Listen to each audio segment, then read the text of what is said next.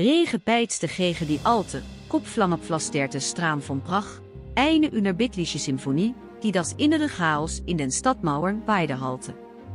In einer schwach beleugdete Kammer, fernab von den neugierige Augen der Welt, beugde sich Rabbi Judah Lou, dessen Bart wie ein silberner Wasservol über sein wettergegerbtes Gesicht floss, über eine massive eigen Schreibtisch. Anders als die übliche Texte der Schrift und Philosophie, die seine Arbeitsplatz sierte, heute Nacht ein weitläufiges Diagramm aus Kreide und seltsame Symbolen den Schreibtisch. Dies war kein bloß religiöses Studium, es war ein heimlicher Versuch, die Grenze des Bekannten zu überschreiten und in das verbotene Rach der künstliche Intelligenz einzudringen, Jahrhunderte bevor der Begriff überhaupt geprägt würde. Lou baute keine Chat-Generative Pre-Trained Transformer, ein ausgeklügeltes Sprachmodell. Er versuchte etwas weitgewachteres, die Erschaffung eines lebenden Wesens aus lebloser Erde. Dies war keine verspielte Schöpfung eines Golems aus einem Kinderbuch. Es war ein verzweifelter Akt, geneerd von der zeer reale Bedrohung der die über der jüdische Gemeinschaft von Brach schwebte. Geruchte über ein drohendes Pogrom, eine gewaltsame Aufstand, durchzogen die Stad wie ein giftiger Nebel. Wochenlang hatte Lou in den verbotene Tiefe des Sefer Yetzira geforscht, eines mystische Texts, dem nachgesagt wird, die Geheimnisse der Schöpfung zu enthalten. Die Luft in der Kammer knisterte vor Spannung, so dicht wie die Staubpartikel, die in kersenlicht danste. Jets gemurmelte wordt, Jets sorgfältige zeignete Symbol waar ein Schritt auf eine Abgrund zu den Abgrund zwischen dem Göttliche und dem Materielle, zwischen Schöpfung und Chaos. Schlaf war ein Luxus, den Lou sich nicht leisten konnte. Das Schicksal seines Volkes hing in der Schwebe. Schlierig, nach einer Nacht, die sich in eine Ewigkeit erstreckte, erreichte Lou den Höhepunkt seines Rituals. MIT einer Handbewegung sprach er die letzte, kraftvolle Beschwören aus, der Atem des Lebens kanalisiert durch seine uralte Stimme. Der Raum pulsierte MIT een sichtbare Energie, die Luft selbst schien vor Erwartung zu knistern. Dan lief ein zitten durch den massieve Lemhaufe in der Mitte der Kammer. Ein riss er schien, dan ein weiterer, spinnen het zartig nach Aue verlaufend, wie schliedig MIT einem letzten, erder schuttende Rück eine riesige Gestalt auf die Vuur trad. Der Golem. Die Creator stand gröher als Jede Mensch, ihr Körper eine groteske Karikatur menschlicher Form. Ihre Augen, leren Obsidianpols, star RTEN regungslos in den Raum, ohne jede Funke von Erkennen oder Intelligenz. Doch von ihrer Blumgestalt ging eine Rockkraft aus, ein Gefühl von Urtemlicher Stärke, das Lou zugleich begeisterte und zutiefst beunruhigte. Er had de künstliche Intelligenz geschaffen, ja, eben war ein grobes Werkzeug, ein Hemmer ohne die finesse eines Skalpels. Einerzijds lang ervulde de golem zijn zwek tadellos. Er wurde zum stille beschutser des judische viertels, zijn de bloedpresens een abschrekkingsmiddel für jene die böse abzichten hechten. Zijn immense sterke sprachtbende, eine wortloze drogen, die die wulven in schach hield. Doch ein nagendes unbehagen lilu niet los. Der golem te das, was die mensheid ausmacht, eine Seele. Er war ein mächtiges Werkzeug, eine gehortige Schöpfung, eben letztlich ein Sklave seines Programms, ohne Verständnis oder Empathie. Dann kam das Feuer. Ein Funke, ein Windstoß, und das Herz des jüdischen Viertels stand in Flammen. Panik brach jung aus, schreien halte durch die kopflammepflasterte Straan. Der Golem, programmiert zum Schutz, stapfte auf den Brand zu, seine massiv gestalt warf eine een heilvolle schatten. MIT zijn er immense sterke risser brennende balken herunter, schuf eine weg vuur die verengstigde bewoner zur vlucht. Doch das Feuer topte weiter, ein monstreuses Biest, geneerd vom Hul en de Wind.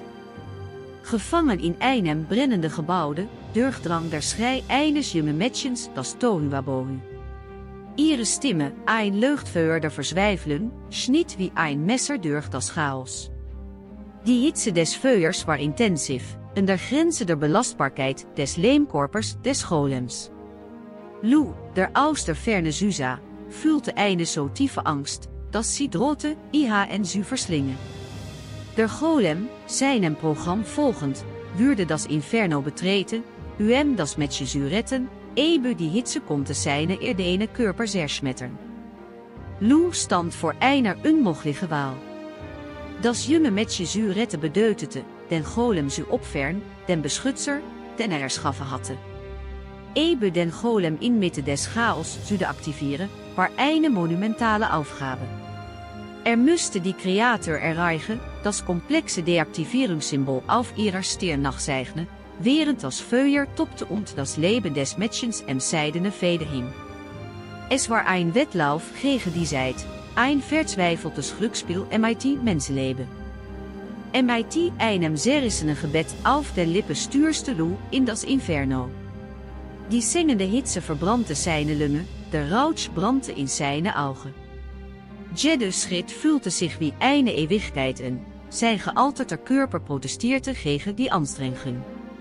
Schlierig erachte er den Golem, dessen Gestalt bereits unter der Hitze des Feuers rissig und zerbrechlich würde.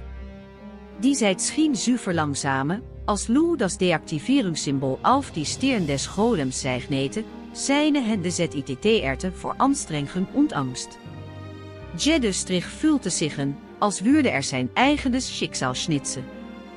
Gerade als die letzte Linie des Symbols gezeichnet war, er zitterte de golem MIT einem ohrenbeteubende steunen und sehr viel zu boden, ein stummer Wächter, der zu lebloser Erde zure keerte. Die Luft schimmerte, die unnatuurlijke Energie, die die Creator belepte, vervluchtigde sich wie Rauch. Lou Bragium, neben der gefallene gestalt zusammen, seine Brust keugde, zijn körper waarvan Erschopfum gezeichnet. Er hatte das Mädchen gerettet, eben zu einem schreckliche Preis. Als er das junge Mädchen ansah, ihr Gesicht von Lu und Tränen gezeichnet, überkam IHN eine Welle widersprüchlicher Gefühle erleichtern, Trauer und ein tiefes Verantwortungsgefühl. Er hatte ein Werkzeug von immense Macht geschaffen, eben letztlich ein Werkzeug, das die Fähigkeit zu eigenständigem Denken vermiste. Der Golem, ein Wunderwerk der künstliche Intelligenz in sich, war ein Sklave seines gewesen, ein Spiegelbild der Verzweiflung seines Schöpfers statt eines wirklich fühlende Wesens. Die Nachricht von dem Feuer und dem Opfer des Golems verbreite sich wie ein Laufeur durch das jüdische Viertel. Einige feierten Lou als helden, eine Mann, der wachte, die natürliche Ordnung zu trotsen, um zijn volk zu schützen. Andere jedoch flüsterte von einem Frevel, einem strijfzig MIT verbotene Kräfte, die schlimme Folgen haben könnte. Lou selbst fühlte eine tiefe Zweideutigkeit. Er hatte die Sicherheit seines Volkes gesichert, doch die Erfahrung hatte IHN erschuttert. Die Grenze zwischen Schöpfung und Zerstoren, zwischen Beschützer und Zerstörer, war alarmierend verschwommen. Er hatte künstliche Intelligenz geschaffen, Ebe hatte er wirklich das Gewicht deze Schöpfung verstanden. Das Feuer mochte gelöst sein, doch die Klut des Zweifels luchte in Lou weiter. Er wusste, dass er die schreckliche Nacht nicht vergessen würde, die erschreckende Erkenntnis der potenzielle Gefahren, die in seiner Schöpfung lagen. Er hatte den Abgrund gesehen, die Macht und die Gefaar, das Wesen des Lebens zu manipulieren. Der Golem mochte gegangen zijn, doch zijn vermächtnis lebte weiter, eine deutliche Erinnerung und die Verantwortung, die MIT dem überschreiten der Grenze des Bekannten einhergecht. Als die Morgendämmeren über der roosgeschwärste Stadt aufbrach und ein blasses Licht auf die Ruine warf, gelobte Lou, tiefer in die Geheimnisse des Sever Yetzira einzudringen, nicht um eine weitere Golem zu erschaffen, sondern um das wahre Wesen der Schöpfung zu verstehen, künstlich oder anderweitig. Er hatte eine schlafende Macht erweckt, und tief in seinem inneren wusste erbium, dass die Geschichte des Golems noch lange nicht zu Ende war.